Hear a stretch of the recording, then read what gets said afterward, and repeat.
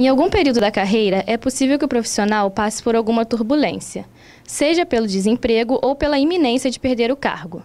É neste momento que surge a urgência de se construir uma boa rede de contatos. O diretor executivo do IDCE, Fabrício Barbirato, dá algumas dicas de como construir um bom networking. Qual a importância do networking para a vida do profissional? Bom, eu acredito que o networking é fundamental para a vida de um profissional. Na verdade, é, a construção de uma carreira ela é baseada na empregabilidade. O quanto você tem empregabilidade no mercado. Empregabilidade ela tem três pilares principais: conhecimento, competência e networking. Só para ilustrar, conhecimento é você dominar um, um assunto teoricamente. Competência é você performar, ou seja, você conseguir pegar aquele assunto e aplicar na sua vida profissional. Então, se você estudou temas de finanças, você vai lá, vai começar a trabalhar, monta um, faz uma, um DRE, faz um, uma controladoria financeira. Se você é de marketing, você começa a montar um material de merchandising, um material promocional, etc. Então, você tem a competência, ou seja, aprendeu a teoria, o conhecimento e colocou na prática é a competência. Só que networking é a coisa principal, porque de nada adianta você ter muito conhecimento, saber fazer, se as pessoas não sabem que você é boa naquilo. Então, o networking ele, ele é uma ferramenta que faz com que você tenha empregabilidade.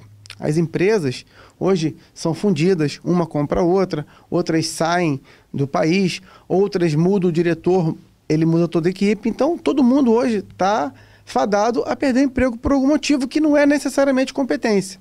Para isso, você precisa ter uma rede de relacionamentos, um networking, para que você possa é, efetivamente usar, fazer uso dele quando você estiver precisando se recolocar porque está demitido, está sem emprego, ou você está insatisfeito numa empresa e quer ir para uma outra empresa, então você precisa fazer networking.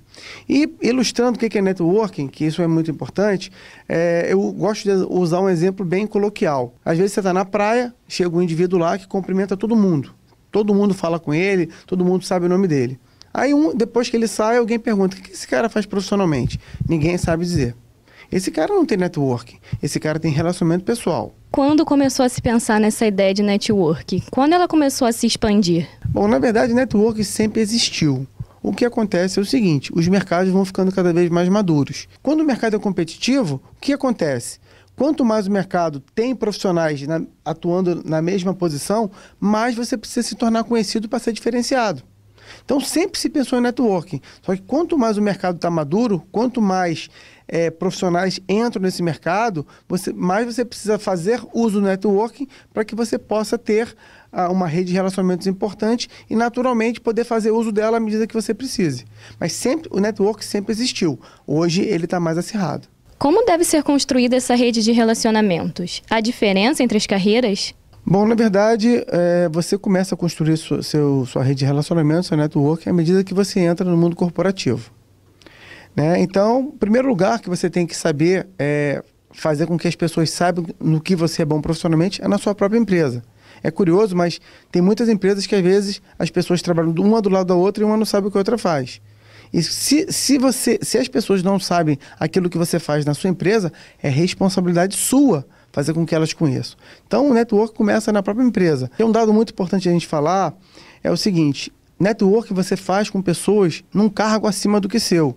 Isso não é uma questão de preconceito. Mas, por exemplo, se você é um coordenador e quer virar um gerente um dia, ou se você é um analista e quer virar um coordenador, ou se você é um estagiário e quer virar um analista, é melhor que você conheça coordenadores e gerentes da sua área, porque são eles que vão ter relevância, ou para te contratar, ou para te indicar alguém. O network não só tem que ser construído, como tem que ser mantido. Através das redes sociais, é possível construir um networking? Isso, isso, é um, isso, é uma pergunta muito importante porque as pessoas confundem muito. Como eu falei na primeira pergunta, networking é conhecer pessoas que saibam, saibam que você é bom profissionalmente.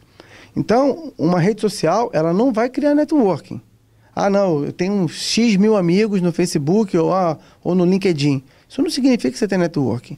A mídia social é uma ferramenta que você vai chegar às pessoas para que você possa marcar um encontro e bater um papo telefônico, um papo tomar um café ou um almoço, que aí em cima disso você vai conseguir construir a, a, o network, ou seja, você vai conhecer pessoas que vão poder saber que você é bom profissionalmente e que no, no, no momento oportuno vão poder te indicar ou até mesmo te, te, contratar. De acordo com a pesquisa do IDCE, por que o network está sendo mal realizado? Na verdade, ele sempre foi muito mal realizado. Uh, porque as pessoas desconhecem efetivamente o que é networking. Né? Existem alguns erros que, de alguma forma, eu falei no decorrer desse, desse nosso papo, mas é que eu vou agora pontuar rapidamente. Primeiro, é você achar que networking é só conhecer pessoas e ser conhecida. Não. Networking é você conhecer pessoas que saibam que você é bom profissionalmente e que essas pessoas tenham relevância na área que você atua. Dois, é você abrir de repente um, determinados contatos, mas não manter contatos. Então, naturalmente, você cria um networking e perde ele depois. Três, é, o brasileiro, por natureza, é, como a gente não tem uma sociedade madura do ponto de vista industrial, capitalista, as pessoas têm muito medo de falar que estão desempregadas ou que querem mudar de emprego. Então, por conta disso, muitas vezes elas não acabam externando uma realidade que elas estão vivendo, que estão no trabalho insatisfeitas, estão com risco de serem mandadas embora, ou muitas vezes estão desempregadas e não conseguem falar. Ah, não, eu vou mandar currículo, vou ficar sentadinha na minha casa esperando que alguém me chame para uma entrevista, vou lá, quando eu conseguir um novo emprego, eu não vou procurar mais ninguém porque eu quero esquecer esse momento sombrio que eu vivia. Então, esses são alguns erros que as pessoas fazem.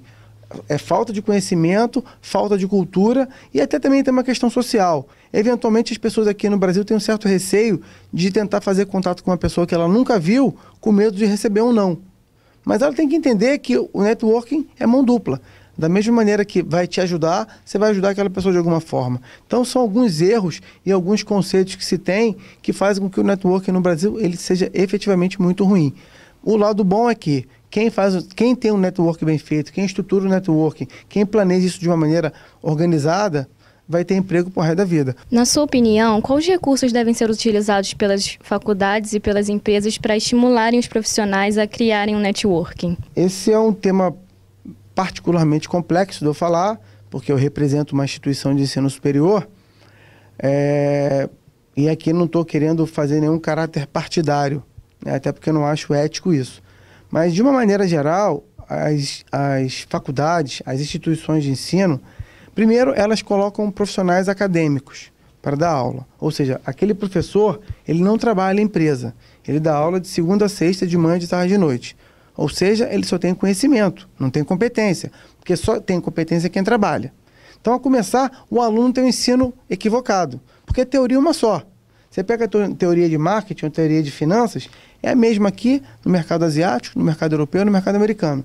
Agora, a aplicabilidade dela depende do mercado consumidor que você está inserido. Que se o profissional ele não tem essa vivência do mercado, ele, ele não vai conseguir tangibilizar isso para o aluno de uma maneira mais correta. Então, o fato de terem muitos acadêmicos atrapalha.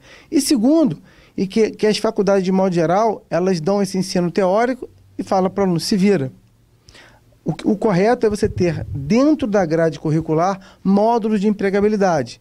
Quais são eles? Como fazer networking, como fazer para se recolocar, técnicas de entrevista, como fazer para montar um currículo, é, planejamento de carreira, coaching, né, que é você é, entender a sua função, aonde você tem os gaps de competência e como é que você faz para aprimorar eles. Então, tudo isso, a rigor, é papel da, da, da, instituição de ensino. Até porque muitas delas são filantrópicas, ou seja, elas têm uma concessão do governo para atuarem e não pagam impostos. Então, o mínimo que elas tinham que fazer é dar um pouco mais de, de, de, de ferramental para o aluno que sai novinho né, na casa dos 20 e poucos anos, para o mercado de trabalho, ele não saia tão cru, que ele pelo menos saiba, um, tenha um planejamento básico para que ele possa trilhar a carreira dele com muito mais sucesso.